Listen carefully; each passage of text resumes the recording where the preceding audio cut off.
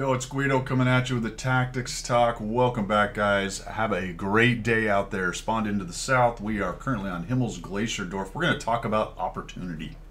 We're going to talk about opportunity and how to take that. I think when you're playing a bottom tier tank, you really need to be a bit of a vulture looking for opportunity.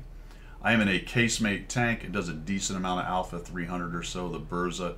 It actually got it actually has decent armor for this tier but it's certainly not something I want to rush forward and start punching uh, faces with the Skoda, the Renegade, and the IS-6B.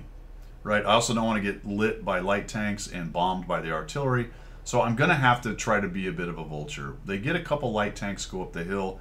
I want to support the heavies over here, but right now I don't want to push. Right? I need to look for an opportunity. I'm looking for an opportunity to get somewhere with my tank. Doesn't matter if I'm in a casemate, doesn't matter if I'm in a medium or heavy. Now I might with a heavy and a medium go to certain spots, but I'm still, especially as lower tier, looking for an opportunity to do something important. Okay.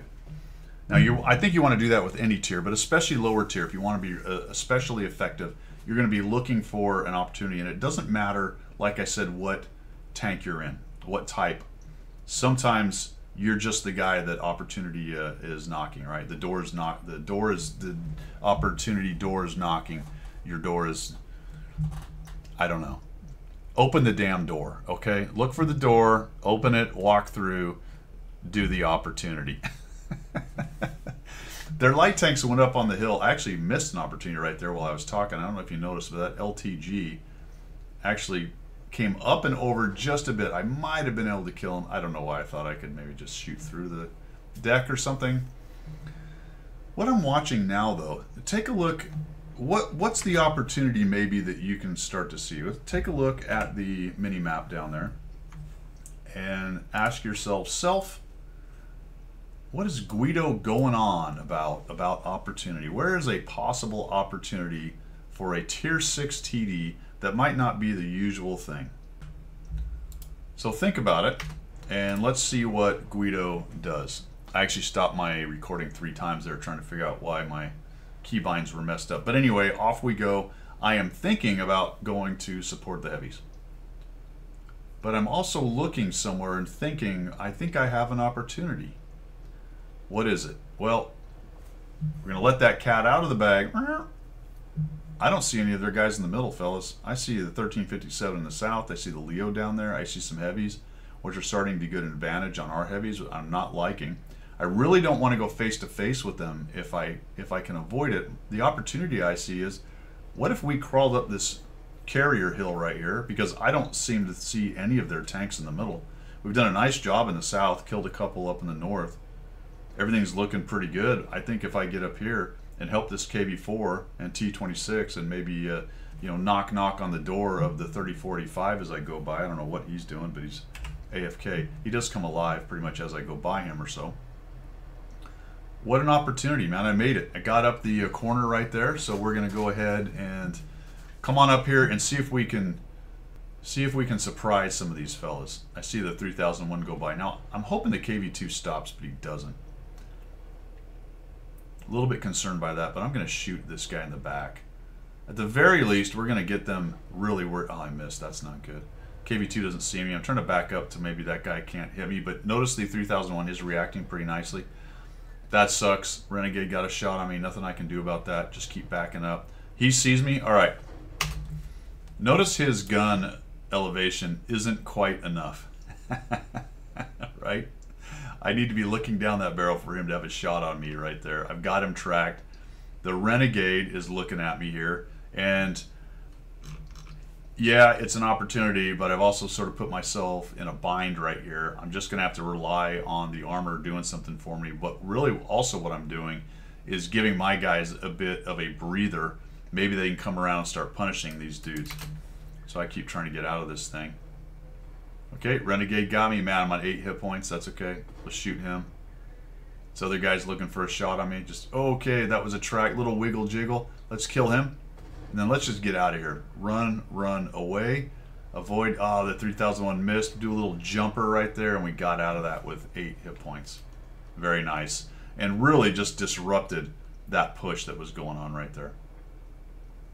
Now I'm just going to try to look for some more hit points. We got 960 damage. got ourselves a kill. We got in there, took some of the pressure off the KV4 and the Skirta. They do a nice job. They kill the IS-6. I make a big mistake here. Uh-oh. Oh, geez. Oh, boy. Try to hide behind these anti-aircraft guns. I don't even know if you can shoot through these. No idea. Uh, the reason I didn't shoot is I wasn't sure, and I didn't want to prove to the Renegade that you could. Then he shot and proved that you can't. So good. I didn't know. I didn't know. Watch this. I saw him moving. You gotta love it, man. Look at all that damage I just got out of that thing. 450 with a 220. 220. What is the alpha on this thing? Did I say 300? Maybe it's 240. It's 280 and I rolled a 220? Goodness gracious. But we got him dead anyway. We lit him on fire. Check it out. It's all over but the shout, and there's only two guys alive right there. So to celebrate the uh, opportunity that we took, that we saw and we took, yep, we'll chuck some luck in there, but there you go. How does it go? Fortune favors the bold or the stupid, and the opportunity knocking door knocks the opportunity, and then you you door you open the door to the knock of opportunity, fellas, and then you take you take an opportunity to understand how the end of the game goes kind of hoping one of those would get within draw distance, but I really don't think so. So we'll just come up here and we'll take some blind shots at the Skoda, none of which hit. 15 to 5 again, says Big Daddy, the GW Panther. Uh, not really, it's 14 to 6. But okay, I understand it. At the time it was. We're just waiting for their Skoda. Why was their Skoda over there? I don't know. I don't know. Why not? Waiting for him to die. Because remember, once they die, there's a couple seconds before the game stops and oh, the look the 304 is just shooting the poor guy. And then you can have a little bit of fun diving off of things. Look for those kinds of situations in your games. There he died. We just dive off, woohoo, and we'll just dunk. Oh. All right, right on top.